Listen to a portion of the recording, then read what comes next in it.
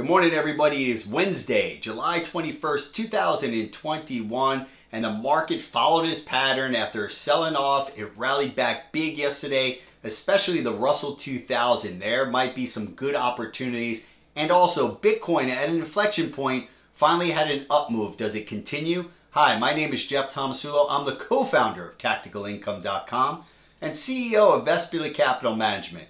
If you like what you see on these videos, please subscribe to our channel. Now, let's get to my computer screens and let's get to work.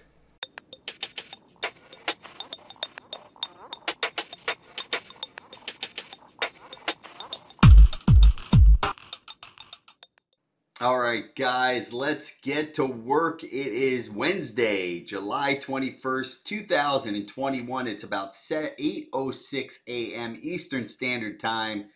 And what a rally that we had in the market yesterday. The pattern of buying the dip is in for now. Now, I'm not totally convinced, guys. I want you to understand that, right? It needs a few days to see if this rally can hold. But man, it was pretty strong and it was across the board. There was a lot of stocks that uh, bounced, ones that we talked about uh, you know, we talked about the uh, reopening trades like the CCLs of the world, and um, there it is. Where is it? Carnival Cruise Line. It bounced over five percent. It's up again another two and there, and you look at uh, United Airlines, which came out with earnings, and it's bouncing this morning. It's up 1.71, uh, 1, 1.71 percent. And this is what happens, guys, when it gets overdone a lot of too too many times people get too scared to to try to get involved when you see these type of moves. But this is the time where your interest should be piqued the most right? Because if you're thinking a little bit longer term that saying hey these stocks have been beaten up they're gonna they're gonna either settle or they're gonna have a slight bounce and they had a big bounce. So that's why selling put spreads into this down move, right, is a is not a bad strategy because you have you give yourself you pick the time period. I we like at Tactical Income we talk to our uh, subscribers about having the optimal time period of selling options and what we have done with our testing is we know that we like to go out anywhere between 30 and 60 days so around 45 days to go out and sell options to be able to collect the premium, especially when you have these big price movements and an increase in volatility, right? That's going to give us a lot more bang for our buck. And we go into so much more detail with our students, but it's a way to create income when you see this. But when you could also protect yourself by selling put spreads. So you, if it continues to go lower, you're only losing the width of the spread minus the premium that you receive. So put spreads are really good to use uh, in this situation. And also, if you want to bring in the stock, selling naked puts, right? If you're willing to sell the $40 puts on United Airline and you're getting a pre- premium of $2 or $1.50, well, you're really taking it in at $38 or 38 whatever the, the number you got, right? You're getting it at a cheaper price. Um, and if it doesn't come in, you're keeping that dollar, dollar fifty, whatever you uh, receive for it. So again, a lot of these stocks, when you're seeing these type of moves, you have to think of opportunities, right? Um, but let's get back to the market. The one thing that I like that I saw in the overall market was the the IWM, the Russell 2000, holding the bottom part of this range and rallying, right? Uh, up over over three percent, right? So it had a ten percent down move, a nice correction in the Russell and finally showing relative strength compared to relative relative weakness. We talk about this relative strength. It outperformed the other markets. Right now, the key in all of these stocks, right? I mean, all the indices. You see that the uh, SPY came down to this trend line. It held. It rallied. It was up over two percent uh, or 1.4 percent yesterday. Uh, the Dow did the same thing. It held. It came back up over uh, one and a half percent, and the QQQs, right? Uh, another one up about one and uh, one and a quarter, one and a half percent. But when you see this, right now, I'm not convinced. And why am I not convinced completely? Because you have to go back to the 10 day chart. And you can see that you know, when you go to the 10 day chart, we're back up to levels that, hey, this was failing at, right? If we draw a, a, a little line across here, it came back to a level in the SPY where this 432 level that, hey, this can actually, you know, come back up here and then fail, go back down, right? So I want to see the next few days in the SPY, the Dow. Uh, I want to especially see in the IWM, can it really have follow through and outperform, right? This is a rotation in this because eh, eh, I'm not going to go full born in because we had uh, a bounce off of a 3% decline. The key is to see today and tomorrow what happens. Now, if history is repeats itself, what we should see is it either holds here uh, and then uh, resumes its uptrend to go try to take out its all-time high. I mean, that is really the case that we've seen over and over over the course of the last year and a half. I, I was on Reuters yesterday talking about this pattern. What's going to change this pattern? Well, you know, there's a lot of, uh, you know, to me, it all goes down to interest rates. And that is something that I'm a little pissed off at myself because listen, I've watched this go up, and this was a perfect scenario on this gap up uh, yesterday uh, to be able to sell call spreads into this up move in the TLT, and I didn't do it. And I was distracted for whatever freaking reason, and it really annoys me because these are the opportunities when you get these gaps to sell call spreads into the into that move. Because again, remember when you buy, you selling call spreads, selling put spreads the whole name of the game is when you get these extreme moves, premium is is increasing, so you're getting more bang for your buck. But you're defining your risk, especially on the call side, because it could go a lot higher. But when you get these little pullbacks, you're able to make your premium over you know the course of maybe three days, uh, a week, ten days, and and then you take the trade off and you move on to do something else. But it's a it's a really good strategy to build income into your uh, into your uh, portfolio. We do we teach our subscribers our process of trading with an edge, a mathematical edge, and a lot of it has to do with what I'm showing you right now. And if you're interested, I put a link in the uh, in the uh, description below to uh, to find out more about what we offer in our subscription to our subscribers.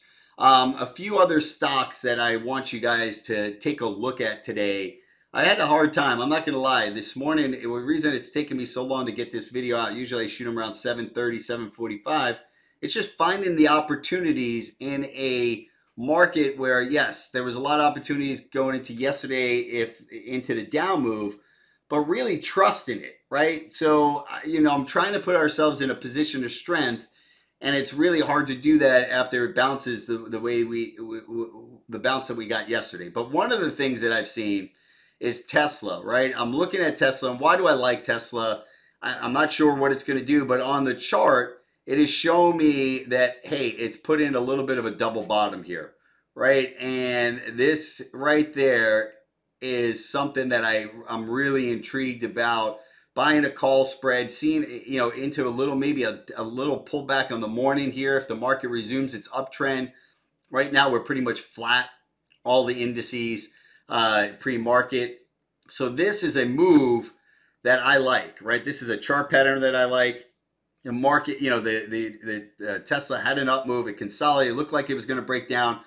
Uh, tried to break out again, didn't, and tried to break down, didn't.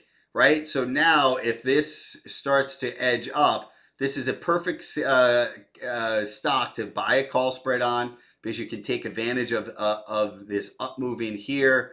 Um, and you can either buy the stock outright and have a stop underneath these lows down here, which is a 644. Um, if you're willing to take that type of risk, you could even almost put a stop in underneath the low of yesterday. Now, on the flip side, guys, and I like to try to think, you have to think both sides of this. If Tesla and the market, say the NASDAQ starts to roll over and you start to see Tesla have a hard time here, right? This could be a sign that it could break through these levels down here and you can take advantage of that. Now, it's I, you have to be aware of the market environment you're in. The market environment is, hey, we had a little bit of sell off, but we're still in this upward trend.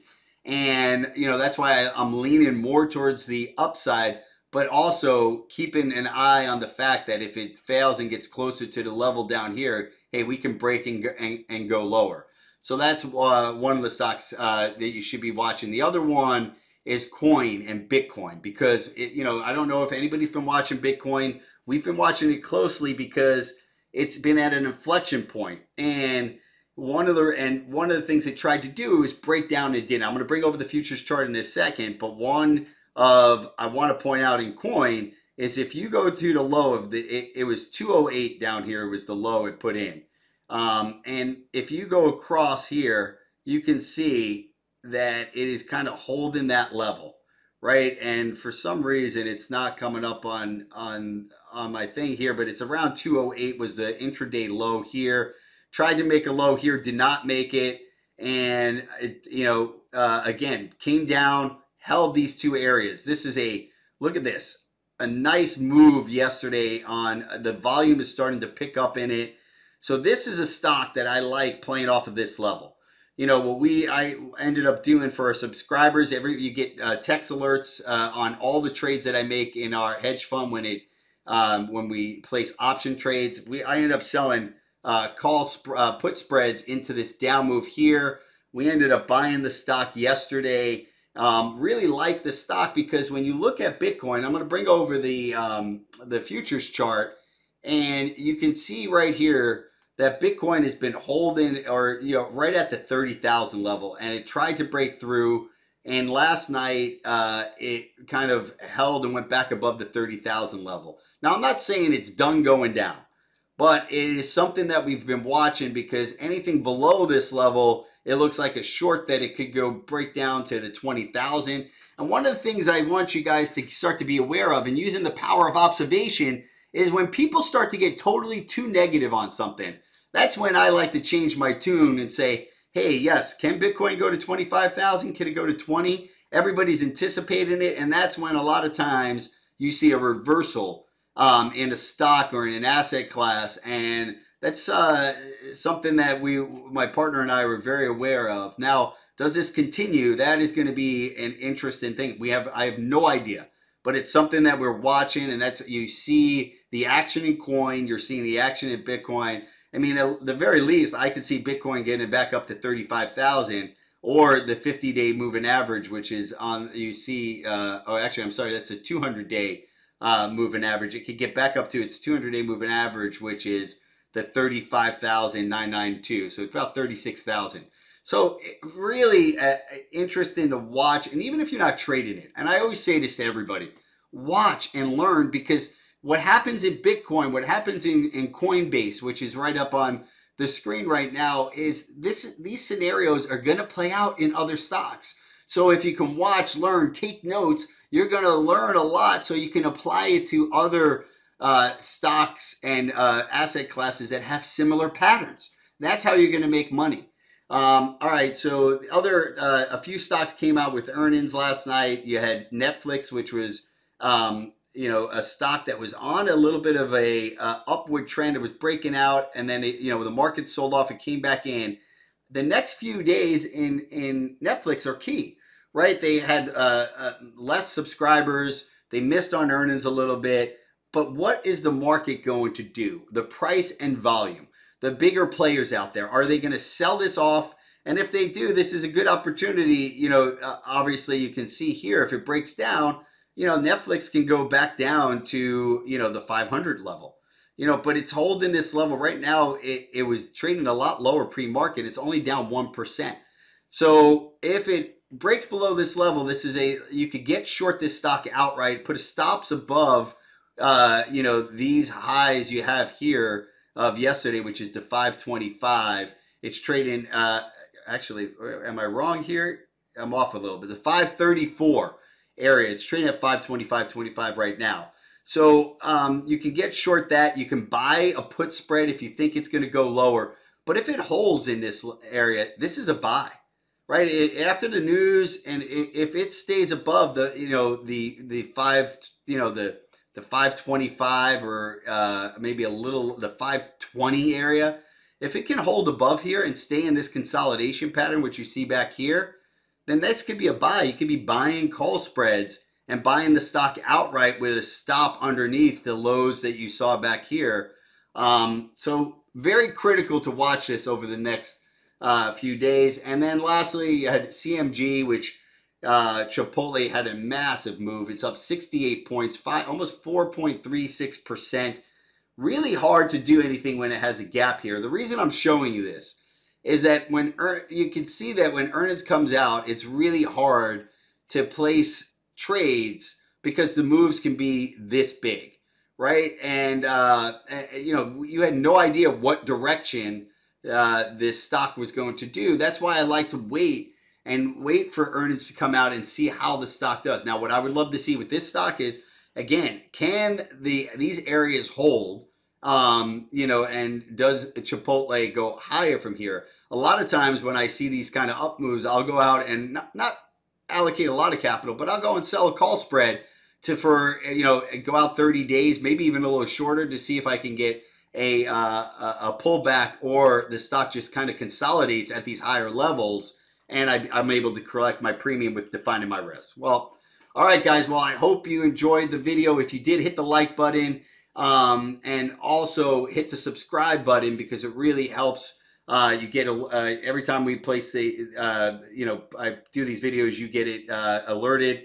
Um, and also check out the check out the um, the link that I put in for the subscription service. You get we have trade alerts, we have uh, you know coaching calls, a, everything you need to be successful in, in in navigating the market. And remember, guys, when trading, trade with an edge. And I'll talk to you guys soon.